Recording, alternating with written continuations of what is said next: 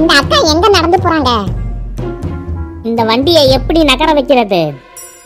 வண்டிக்கு பின்னாடி ஒரு ராக்கெட்டை பத்த வச்சோம்னா இந்த வண்டியும் ராக்கெட் வேகத்துல போகும்.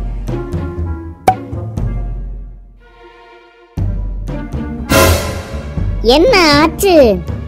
ராக்கெட் வெடிச்சு வண்டி உடைஞ்சு அந்த அக்காக்கு அடிபட்டுருச்சு.